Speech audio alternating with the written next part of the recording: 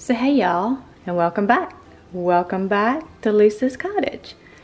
This is our fourth week of our 10 Tidbits of Cleaning Tips Monday series.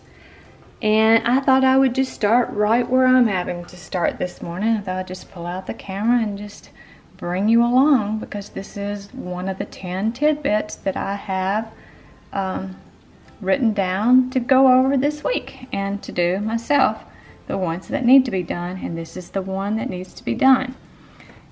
And I'm not sure if you can read that, but it says more water, please. I mean, a machine has manners and says please. Hmm, boy, it's pretty nice to hear manners, huh? Anyway, we're not going to talk about manners. Today we're going to talk about 10 tidbits of cleaning that I do in my house. And being that it is politely asking me to add more water to the water reservoir here on the Keurig, I thought I would just share with you one of the tips that um, I do in my home. And when I remove this uh, reservoir here for the water, I'm just going to go ahead and dump out what's in there. And I'm going to go ahead and wash it in my famous Dawn dishwashing liquid in warm water to hot water. And I'm to wash that out and I've already taken the piece that um, goes on the machine down here that holds the cup, the drip uh, tray, and I already have it in the uh, laundry room in my dishpan soaking in the uh, dishwashing liquid and water. So I'm going to go ahead and wash this out and um, I'm probably not going to dry it out because I don't want to get any lint on the inside of the reservoir here. But while I have the reservoir out, I'm going to go ahead and change the filter in it too. So that would be one of the tips that I have for this. I went ahead and removed the drip tray that I had already put in the uh, dishwashing liquid water and took it out so you could see what I was talking about. This is two pieces here. So I'm while I'm cleaning this and changing the filter, which is right there, and it's in that little compartment here. I'll show it to you when I get it out. And so while I already had this off, washing it um, and changing the filter, I thought I would wash the drip tray. So that's going to be tip one. And then there's the little compartment that holds the filter. And you just pop it out. And that's what that little compartment looks like that holds the filter. That just goes down inside there. And I'm to let those sit while I go get the filter to replace it. And I just keep the filters in here, back there in that bag there. That's the coffee filter. Individual bags in there. I put them in this um, Ziploc bag and they just come in their own individual little plastic um, bags there. And then that can be hard to get out. What you have to do is you have to press, and it's got the little uh, buttons on the side here. I don't know if you can read it, but you have to press those two in, put your thumb and your uh, pointing finger on each side and press and pull down at the same time. So you press in the little buttons there and it's it has it written the word press and then pull down. But there's the used um, filter, there's the new filter, and I'm almost positive that it says to let the new filter soak in um, some water before putting it in the filter compartment. So I'm going to let that uh, soak in the water. And I'm going to throw this one away. So while these pieces dry, um, well, I'm going to dry these with a clean uh, soft cloth. And uh, just a suggestion, you might want to use a clean soft cloth when washing the inside of your reservoir so you won't scratch it up. And then while I dry those and get that put back together, I'm gonna let this soak there in the water.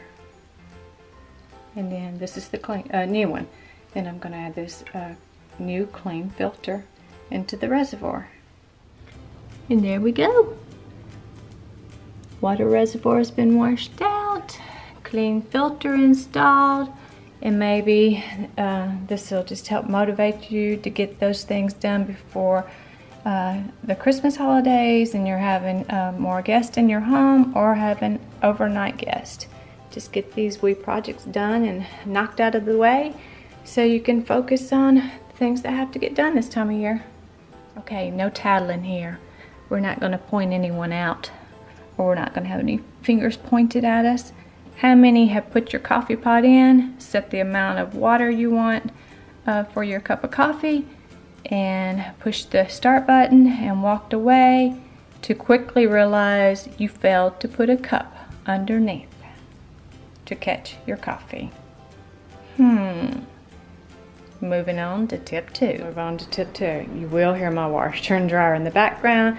We went to Alabama to spend Thanksgiving with our daughter and her husband and their four kids. So I'm putting, I'm having to, well, I did strip the beds. Actually, I didn't. My husband did. Strip the beds off the um, beds in the trailer. I washed the sheets, dried them, and they're ready to be taken back out to the trailer. So, tip two.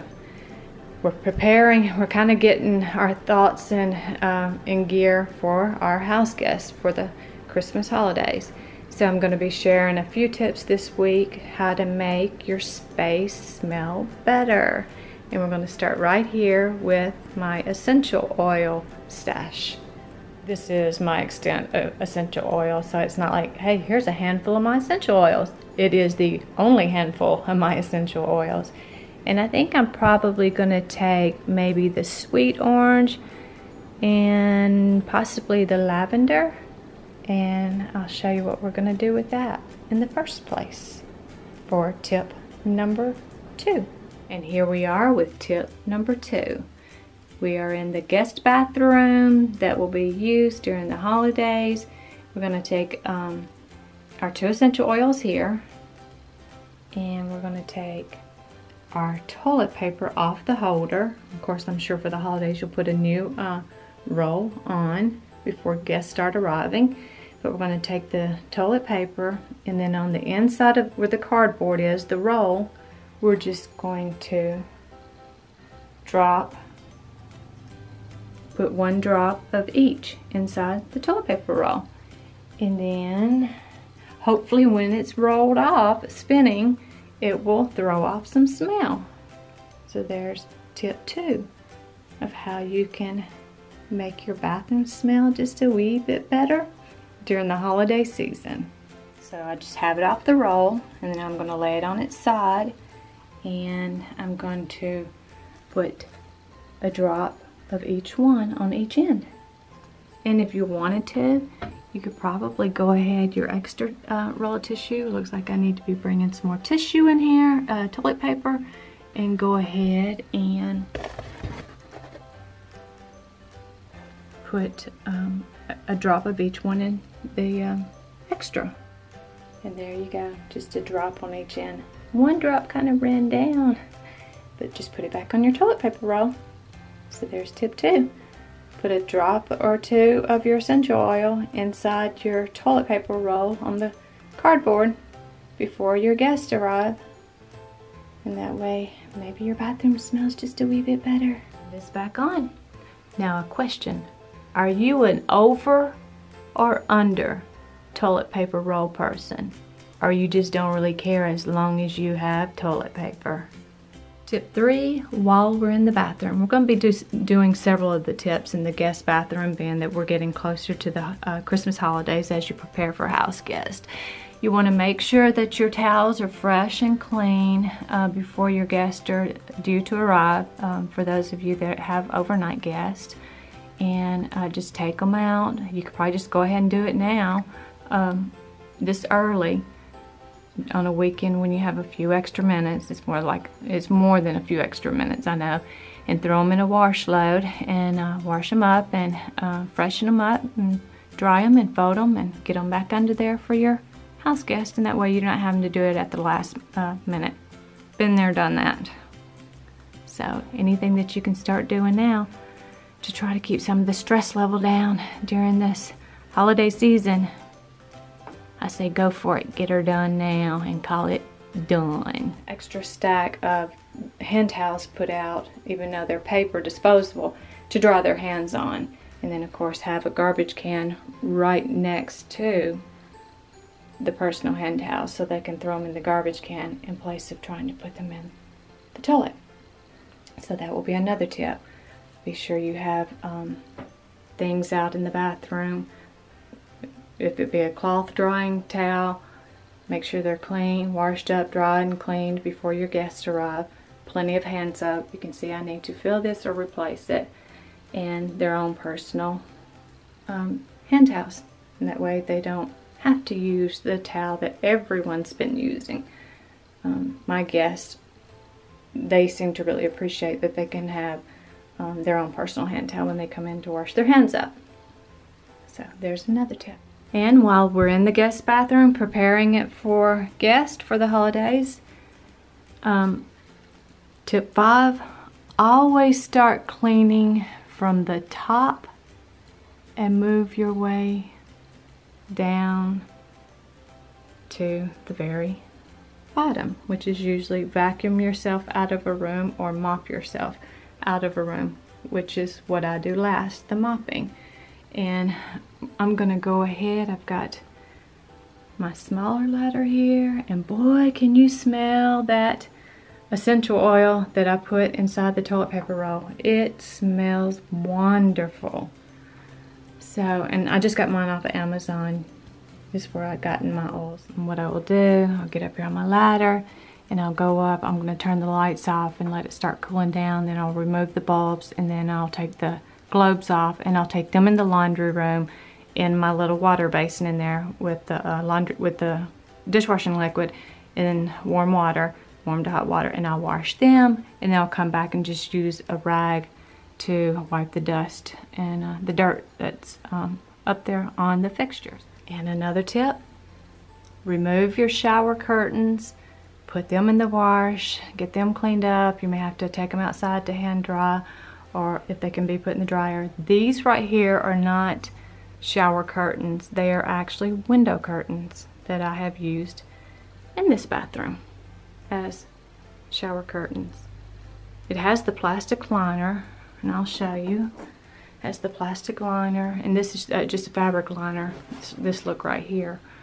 And they're on those hooks that roll and you just um, push that back to be able to get in the shower and then you don't have to uh, pull or push back the actual curtains that I have hanging. So there's another tip. Get your shower curtains washed up or if you're looking to um, revamp your bathroom to give it a fresh look before guests uh, are coming in, take a stroll down the window curtain aisle and see what you can find to use as your shower curtain decor. So there's another tip. And here they are. It was just the three globes. No big deal. Just take the light bulbs out first. And then here's the um, ceramic rings I was talking about. Those have to be unscrewed before the actual globe comes off. So just go in and look up under the uh, the light globes and see if it has the ceramic ring or is it being held up by the light bulb or is it uh, screwed on up there. So I'm going to wash these up, dry them, and put them back. Then while I have uh, the globes taken off and I've already wiped the uh, fixture off in the bathroom, I like to go ahead and just take the rag that I dried the globes off and just wipe off the light bulbs because it does make a difference. They get dirty too, especially if it's like your bathroom where you use hairspray and uh, stuff like that in your bathroom.